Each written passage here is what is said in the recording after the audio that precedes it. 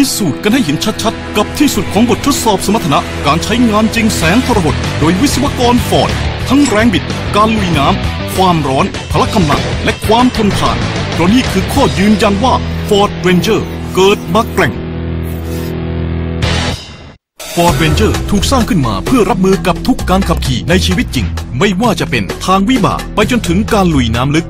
การทดสอบนี้เพื่อแสดงให้เห็นถึงความชาญฉลาด ในการออกแบบเพื่อลุยน้ำลึกอย่างเหนือชั้น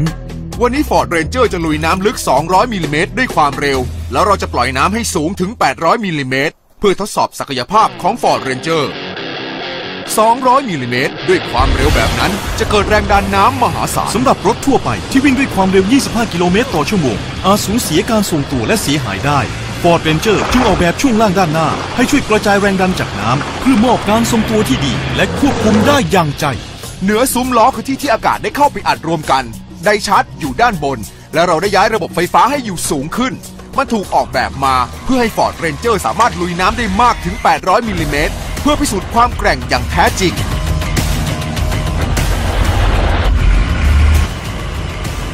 แค่นี้ยังไม่โหดพอ เพื่อวัดขีดความสามารถที่เหนือชั้น เราบรรทุกน้ำหนักเพิ่มอีกหนึ่งตันในเวลาเดียวกัน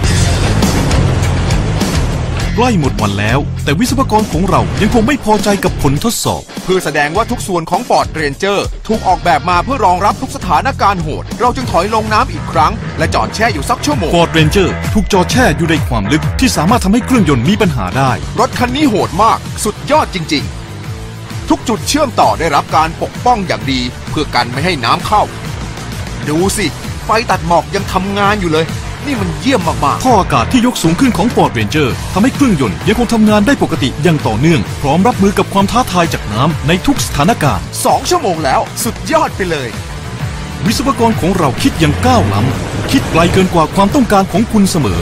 เพราะนี่คือความแกร่งเพื่อทุกความสำเร็จอย่างแท้จริง